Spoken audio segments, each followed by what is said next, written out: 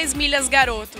O dia tá lindo e promete ser mais um sucesso. E aí, André, como é que estão as expectativas para a corrida deste ano? Olha, a expectativa é grande. Essa vai ser a maior 10 milhas que a gente faz. A gente está com quase 7 mil atletas. Fora o pessoal que vai acompanhar, vai torcer. Então, com um dia bonito como esse, deve ser a melhor 10 milhas que a gente já teve. E a preparação para o dia de hoje, como foi? Olha, a preparação já vem de alguns meses, né? São colaboradores da Garoto, são voluntários. A gente tem, no total, mais de 800 pessoas envolvidas na preparação e na execução da prova. Então, durante toda a prova, a gente vai encontrar uma série de voluntários aí trabalhando para ser essa prova um sucesso. E a gente fica aqui para conferir.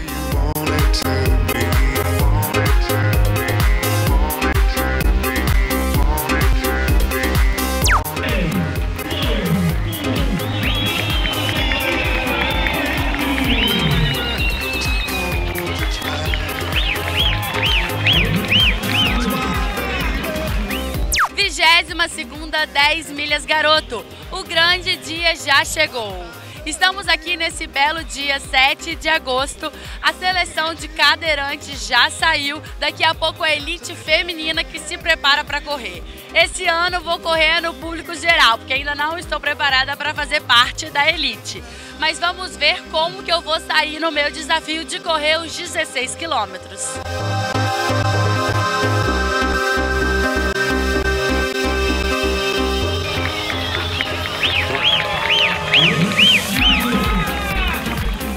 Geraldo está correndo em prol da natureza. Explica um pouco melhor sua fantasia, Geraldo. Isso aí é verdade. É, é a preservação, o amor pela natureza, que devemos preservar a natureza como devemos preservar a nossa própria vida.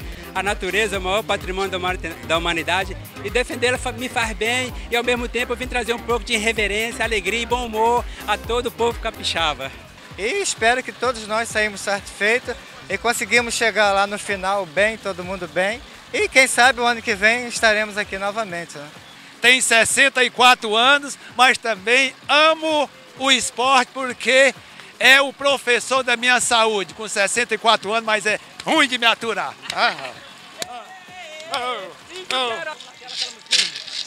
Essa mata ainda tem toureiro e peneiro, a jurema preta e sabiá, peneiro peneiro. É isso aí, a corrida 10 milhas garoto com certeza é a mais gostosa do Brasil e também a mais divertida, não é? Isso aí, eu amo Vitória!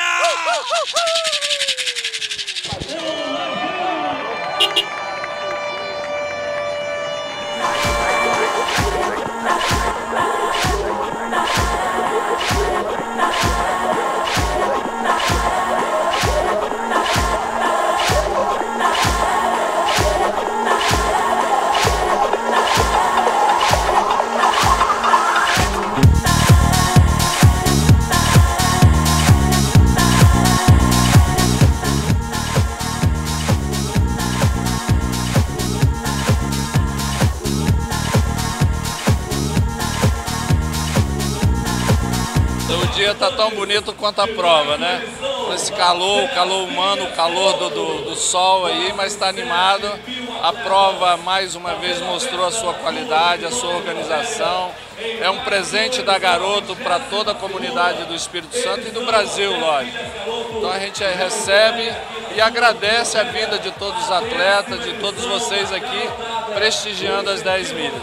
Eu acredito que todo, todo esse trabalho que é feito é, de comunicação da prova, de divulgação da prova, isso atrai a organização, a gente se preocupa com todos os detalhes, a gente procura é, prever todos os possíveis detalhes na prova para garantir a segurança de todos os atletas, de elite, dos cadeirantes, é, atleta capixaba, os colaboradores, a gente trata todos como um igual.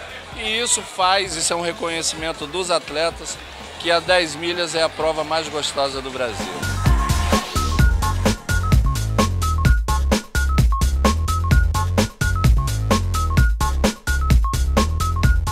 Diogo, mais de 6 mil pessoas inscritas, recorde, né? Qual a receita para tanto sucesso? Eu acho que a receita para todo sucesso é a paixão que todo mundo tem por essa corrida que já vai na 22ª edição. e também essa paisagem linda que os corredores têm a oportunidade de apreciar saindo de Vitória, passando a ponte, passando na Praia da Costa e chegando aqui com o cheirinho de chocolate na garota. Como foi a organização para chegar no dia de hoje? Pois, tem toda uma equipe que quando termina essa começa pensando na próxima. Então tem mais de 550 voluntários e tem toda uma equipe que já cada vez vai melhorando de ano para ano. Tem aí o, o Paulo que, que, nos ajuda, que organiza, que faz tudo isso acontecer e que é praticamente difícil de encontrar hoje em dia que ele está correndo de um lado para o outro. Não correndo com os corredores, mas correndo de aqui de um lado para o outro. É, é o espírito da garota, é o espírito capixaba que a gente tem a responsabilidade de mostrar para todo o Brasil.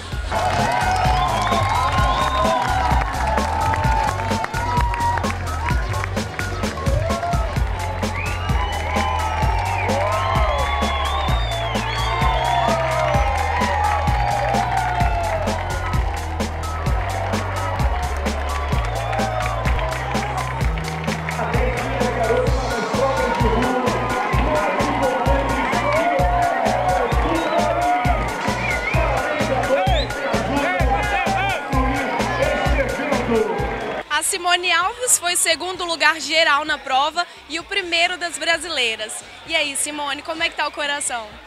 Ah, tô muito feliz, né? Pelo resultado. Venho de competições, venho cansada, mas hoje eu superei o cansaço.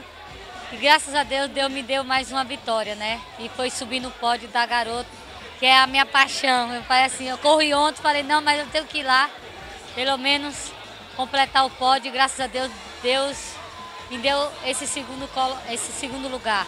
Correr aqui em Espírito Santo, Vitória, é tudo de bom.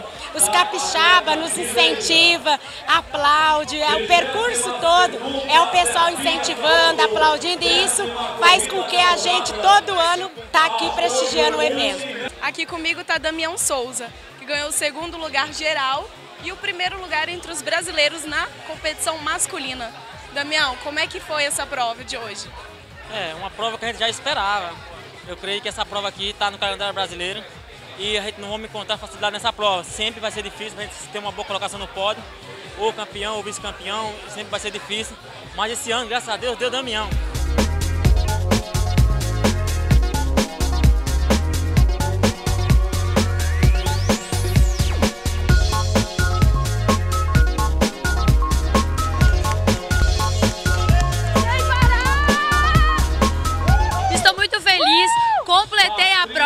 16 quilômetros sem parar, sem andar. Vou chamar agora o Bruno, que foi o grande responsável por eu ter conseguido completar a prova. Bruno, faz um resumão aí dos 16 quilômetros. É, a prova, o solzinho hoje tava casca grossa, mas a Hanna estava preparada, ela sentiu algumas dores musculares nas costas, mas foi até o final, guerreira, guerreira, treinou para isso, fez boa prova, correu bem. Se você que ainda não correu as 10 milhas garoto, não fique aí parado. Ano que vem tem mais, afinal é a corrida mais gostosa do Brasil.